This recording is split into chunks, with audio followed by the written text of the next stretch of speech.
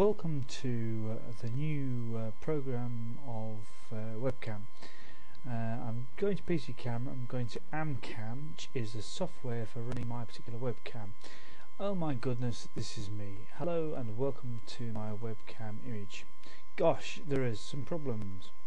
Okay, let's have a look at what we have. This is the settings of the properties. The face tracking is here, so we can actually take on face tracking. Yay! Uh, what else do we want to do? Let's have a look at image flip. Um, what was that done? Okay, that's the gives you that one. okay, low light. That's quite significant. Uh, why is that significant? Well, I only have to show you that, and you can see that not only am I upside down, which I don't want to be, but it's um, a significant. You've got here this bright light. Yeah, move it around. Get that light. See now, if I was let's and go. What we get? Well, we can have light. Uh, no, that is a silhouette. I become a silhouette. Okay. So, taking the light. Uh, we've got image, image there, and then. Oh, now on previous videos to do webcams, to do with recording, you'll see the actual fact with the issue of hand straight. Didn't looking. Let me just sound so you can maybe seem a little bit better. Okay, not brilliant quality image. No one's trying to say it is. No one's trying to tell you that this is going to be a good quality image. But what we do have um, is a bit more light. Okay. Now, what I've actually done here uh, is, as you can see, I've clicked the image, the the Im image mirror for low light. Okay. Now we're going to move this over here. Let's just just tinker around with this, and we can see the brightness changes straight away.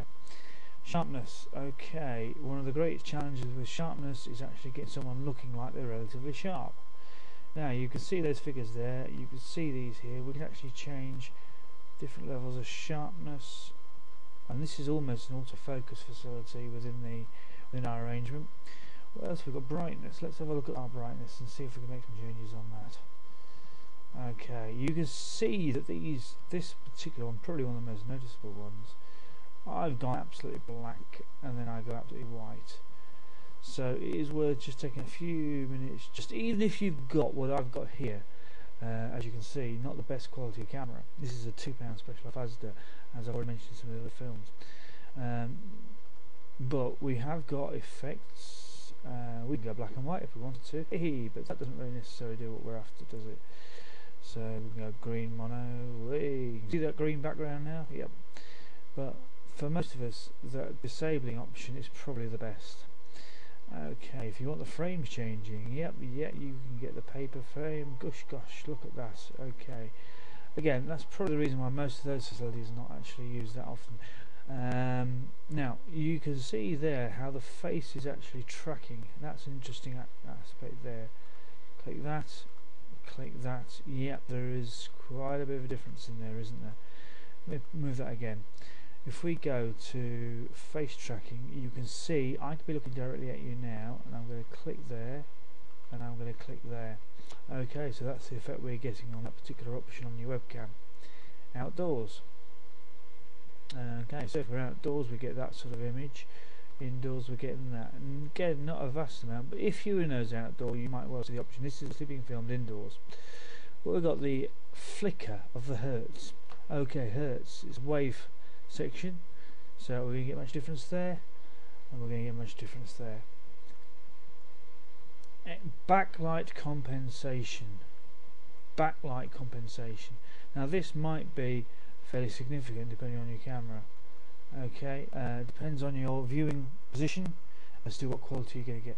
I'm hoping to be maybe spending a little bit more time looking at more improved cameras in time um, Oh, afford it. Donations, please PayPal them. Uh, the name on the user account here. You'll see it hotmail.com. They'll be accepted. Trust me. Uh, but anyway, um, so we're looking at a whole bunch of information there. Master Street. Let's see what we've got there. Nothing there at all. Please excuse the ice cream man if you hear that.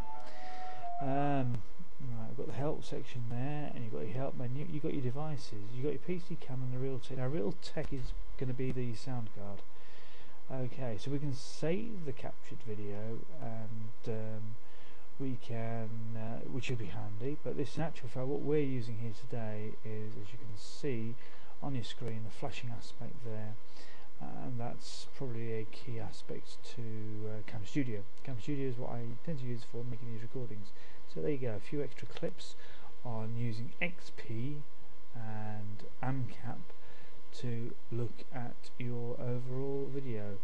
Now, it looks slightly different when you're looking at it like that. Um, this isn't the best camera in the world, but you can see me. I'm hoping you can hear me. And if you can hear me and see me, we're two-thirds of the route down the road, as the saying goes. So that's the end of this video, and uh, I hope it's just been a little bit of interest for you.